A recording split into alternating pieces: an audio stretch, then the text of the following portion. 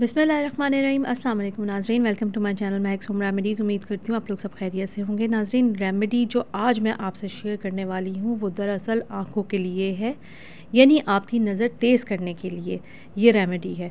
बड़े हों या बच्चे, आजकल मोबाइल के यूसेज की वजह से जो नज़र की कमज़ोरी पैदा हो रही है, ये रेमेडी खाने से नज़र बेहतर हो जाएगी और इन कुछ ही दिनों में इसके मुस्तकिल इस्तेमाल से नज़र बिल्कुल सही या बेहतरी के करीब हो जाएगी। इन तो आइए रेमेडी बनाते हैं और इस आसान सी रेमेडी को बनाने के लिए आपको चाहिए चार चीज़ें।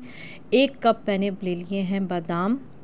इसी तरह से सौंफ आपने लेनी है दो कप या आप डेढ़ कप भी ले सकते हैं।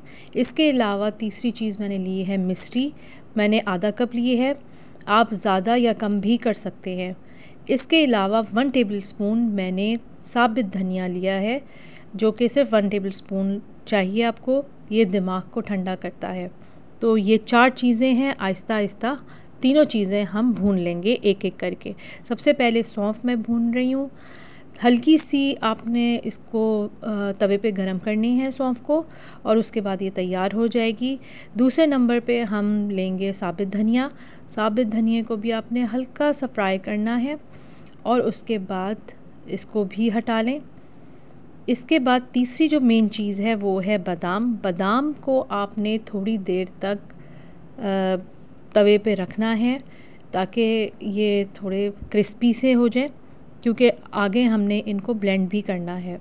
जैसा कि आप जानते हैं कि बादाम दिमाग को तेज़ करने के भी काम आता है तो ये भी बहुत इंपॉर्टेंट चीज़ है।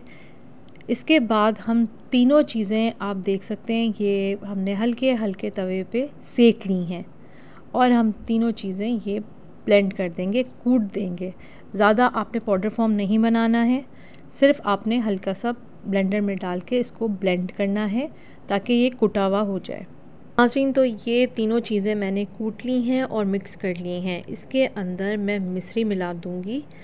मिश्री मैंने थोड़ी सी पाउडर फॉर्म में रखी है, क्योंकि मिश्री थोड़ी सी सख्त होती है चबाने में।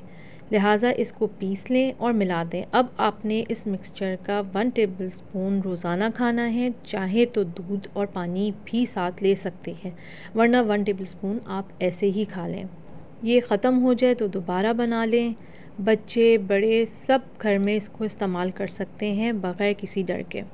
उम्मीद करती हूँ ये आसान सी रेमेडी आपको पसंद आई होगी। ज़रूर बना के अपने घर वालों को खिलाइएगा ख़ास तौर पे बच्चों को।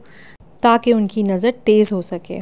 उम्मीद करती हूँ आपको वीडियो पसंद आई होगी। लाइक और शेयर ज़रूर करें। मज़ीद मालूम के लिए प्लीज़ चैनल सब्सक्राइब करें और अपना बहुत ख्याल रखें। अल्लाह हाफ़